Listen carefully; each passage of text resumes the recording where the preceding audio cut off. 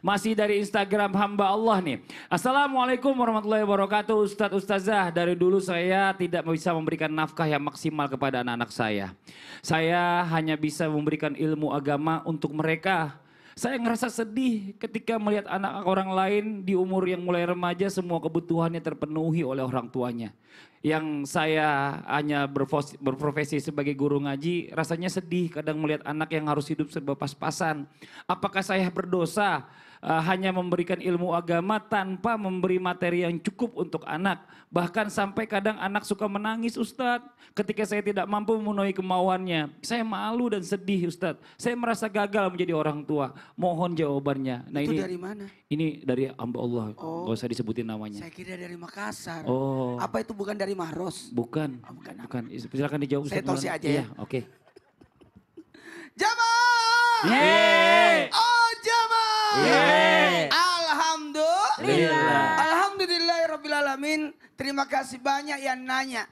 Karena nafkah itu sesuai kemampuan. Tuh, dua, tiga, kemampuan. Wa ma min dabbatin ardi illa Allah rizquha. Sudah diatur rezekinya. Anak itu lahir dengan membawa rezekinya dan Allah memberikan kemampuan buat kita untuk dalam al apa? Untuk menanggung rezeki itu buat anak-anak kita. Tapi dalam hal ini nafkah itu tidak mungkin sama. Makanya saya tidak mau tanya Mas Padli berapa dia kasih uang jajan anaknya. Karena masing-masing beda. Beda, beda. Orang tua pun demikian. Maka napakah materi sesuai kemampuan, sesuai kebutuhan, dan sesuai kesepakatan. Jadi harus ada kesepakatan supaya tidak ada yang merasa terzolimi. Maka ketika kita memberikan napakah kepada anak, saya setuju. Saya setuju dengan penanya ini.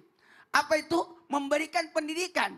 Ketika kita memberikan pendidikan terhadap anak, bagaikan kita memberikan pancing kepada anak, bukan umpan. Memberikan semar buat anak, bukan uang. Memberikan pekerjaan terhadap anak, karena yang namanya eh, pendidikan itu sangat luar biasa. Kenapa? Ketika itu nanti anak itu memberikan ke, eh, mohon maaf, alat itu digunakan untuk mencari rezeki. Ketahuilah, seorang orang tua yang memberikan pendidikan terhadap anak, yakinlah orang tua itu sudah mengangkat eh, derajat seorang anak itu, bahkan pendidikan itu memberantas kemiskinan. Makanya bagus CT Arsa yang luar biasa, ia mengangkat derajat anak-anak. Eh, kenapa? Karena CT Arsa Foundation itu luar biasa loh. Iya, Eh, Masya Allah dalam ya. unsur pendidikan. Saya juga begitu. Dulu saya awal-awal bagi-bagi, "Ih, tapi setelah saya pikir habis juga tidak ada manfaatnya. Mending bikin sekolah. Ketika kita bikin sekolah, ah, enak itu. Jadi sekaligus membantu. Panjang Ah, gitu ya Mohon pahalanya. maaf buat semuanya. Jamaah. Yeay. Maka dalam hal ini ada namanya kebutuhan anak. Mau tahu kebutuhan anak? Mau. Kebutuhan untuk hidup. Kebutuhan untuk sehat.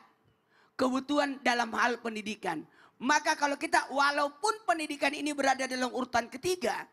Dia hidup dulu. Makanya ketika covid maka sekolahnya online. Mau unsur pendidikan, mau kebutuhan pendidikan. Memang kebutuhan pendidikan mendesak.